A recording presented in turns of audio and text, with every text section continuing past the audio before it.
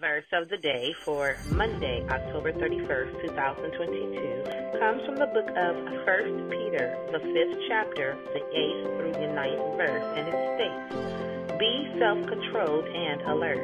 Your enemy, the devil, prowls around like a roaring lion looking for someone to devour. Resist him, standing firm in the faith, because you know that your brothers throughout the world are undergoing the same kind of suffering. What is the thoughts on that? Satan is no play or pretend thing. He and his power are real and intended to harm. But rather than spending our time worrying about him, let's resist him when we are tempted and focus on Jesus. He's the one who won the big showdown at Calvary, triumphing over Satan. He took Satan's greatest tool and disarmed it. Now we can resist and Satan will flee. Let us pray. Thank you, Almighty God, for sending Jesus to break Satan's stronghold over us.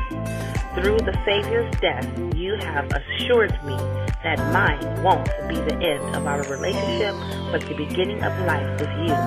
Today, however, I ask that you help me in areas where Satan's power over my life seems like I just can't overcome. Yes, Lord. Through power and in the name of Jesus, I pray. Amen.